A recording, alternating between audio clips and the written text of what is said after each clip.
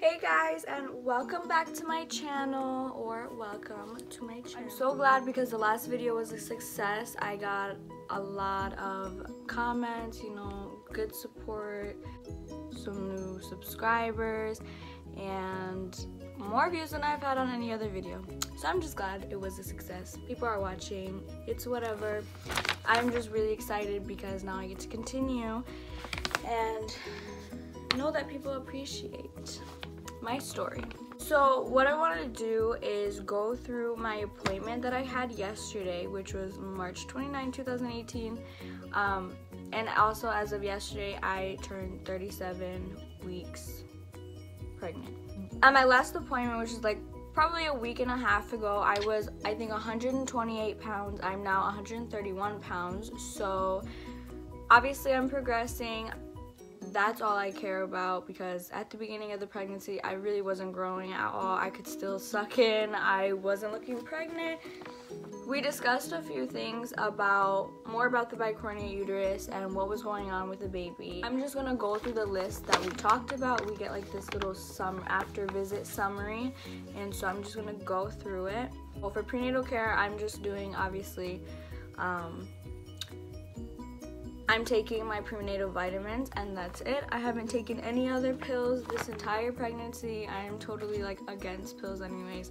I just don't feel the need. I know that I could get over it naturally and I don't want that in the baby system just because I have a headache that will go away in like 30 minutes. The other thing that we talked about was intrauterine growth restriction which has to do with the bicornuate uterus. So like I was telling you guys last video, my bicornuate uterus is heart shaped and so like I said the baby picks a side to grow in. I, I'm not able to tell what side. I guess it was too late for them to tell me because I did ask what side that she was on. I'm not really sure if it matters. I'm not sure if it affects what happens, like the outcome of the pregnancy. I have no clue. Like I said, it doesn't give her room to grow because it's not a full uterus. It's just the half of the uterus that she decided to grow on. And so I guess apparently she's been growing up to date on every other appointment.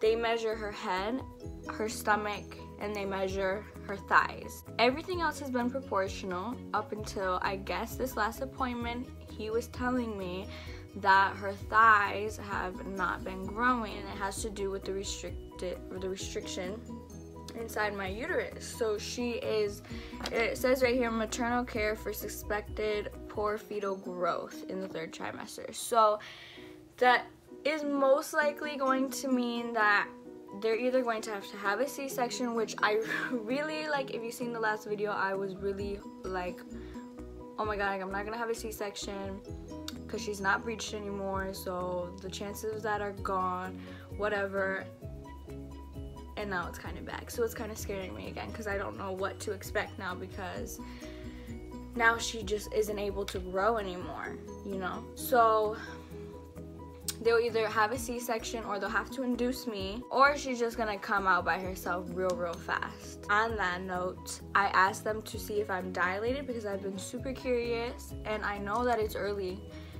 He even told me, he was like, I can check you if you want, but most likely you're not gonna be dilated or anything. It's really early. I was like, it's okay, we can just check anyways. So he checked me. I am one centimeter dilated. And I know that's not much and it doesn't really mean anything. I was looking at the girl nurse and she was there. I was just like, I'm a centimeter dilated. Oh my god. So, um, sorry. I have the fan on because it's really hot, but it's like messing up my hair it's a big deal to me just I don't know, first time moms, I feel like anybody be like, I'm dilated. Like that means, oh my God. The hospitals won't usually take you until like you're three to four centimeters, depending on how fast it's starting to increase in centimeters. Being one centimeter dilated, I guess technically means you're in early labor, but people can be in early labor for days, for hours, or for weeks and weeks. So it doesn't mean you know, anything. It just, I'm dilating. It's cool. Once I hit about 30, to four centimeters, they take you in and that's when they settle you down, start putting the IVs in you and be like, all right, it's time. But that was mostly all from the visit. He did schedule a growth ultrasound for next Thursday. I think that's the 4th or 5th of April. I hope that everything's okay, but I have a lot of questions to ask. I'm very curious, so I will let you know which questions I come up with because I'm not gonna remember them right now. The next video I'll let you know and I'll answer the questions for you. For this appointment, they either ask you if you want to do the Tdap vaccinations and just so that it will, you know, protect you and then it puts antigens in your body so that it will protect the baby too and when she comes out. So I did decline those. That's a whole nother story whole nother discussion, but I don't mess with vaccines. They also ask for like a gestational diabetes test and things like that. So those are some things that you'll have to expect. Oh, you guys haven't seen the baby yet. I, or the baby bump. Um, so I'm gonna show you the baby. So it's a lot bigger before I was able to suck it. And you can tell she's dropped, so but I've sat low this entire pregnancy, so it's kind of hard to tell if I dropped, but they did confirm that with me. I just wanted to go over the doctor's appointment, everything that happened.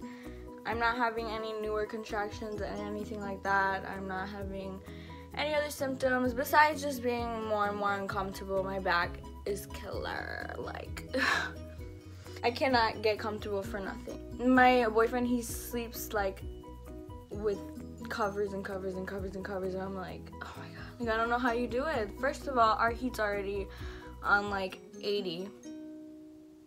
I don't know why, but he likes it warm, and I do too.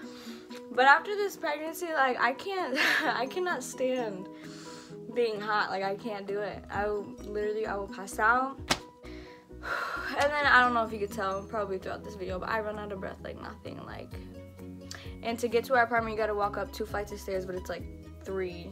I'm like, dang, like it's a workout. Not that I'm trying to induce the labor, but I'm kind of trying to induce the labor. And I'm finally full term, so I, it's not a problem. I've been getting a lot of tips, sex, kind of awkward, whatever, but that's how I got in this position in the first place. That starts up contractions. Apparently, apparently it's not the actual sex, it's the sperm, I guess, has, I forget what it's called, but it has something in it that just starts up contractions, which obviously opens up your uterus. I'm not your uterus. It opens up your cervix. Also nipple stimulation. Basically, you know, playing with your little nips. Walking. I guess there's certain foods, certain teas. Like I said, I am gonna do a video on the diaper bag and what's in my bag and what's in Devel's bag.